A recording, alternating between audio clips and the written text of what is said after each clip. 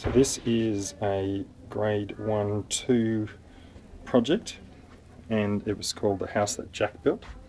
And it was based around design and learning and you see that the kids designed homes that were a house of straws and the test for the house of straw was being blown away by a hairdryer.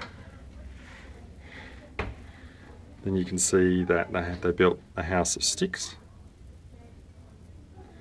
and that house of sticks was again you know blown away by the hairdryer and they discovered they needed to have a foundation.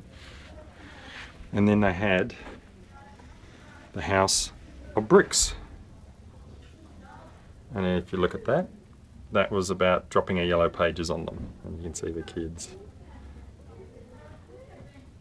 All the pictures there. And then they looked at okay let's have the age challenge. Design a home using the age. And you can see some of the results and you know building it's like using triangles are stronger than rectangles kids building those sort of things and what tuned them in was the teacher talking about the homes in Africa she had visited when she was there you know from straw and sticks and bricks and they kids, as the next step, built traditional homes from natural materials, and you can see they started to look at how could they build it, designing sort of Aboriginal humpies maybe, you know, maybe mud and stuff like that was needed.